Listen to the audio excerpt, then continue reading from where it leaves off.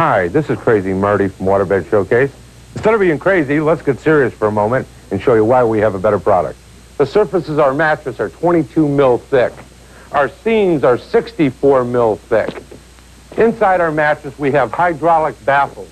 There's no fiber, there's no foam, and they don't dislodge. Now, if you don't buy a bed from Waterbed Showcase, who's crazy? You or me? Ha ha ha ha ha ha ha ha ha.